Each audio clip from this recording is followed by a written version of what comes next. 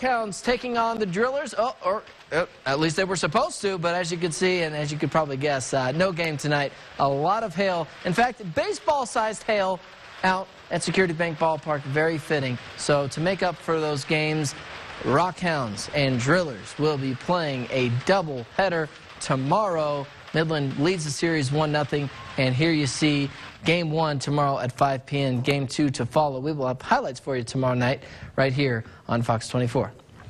And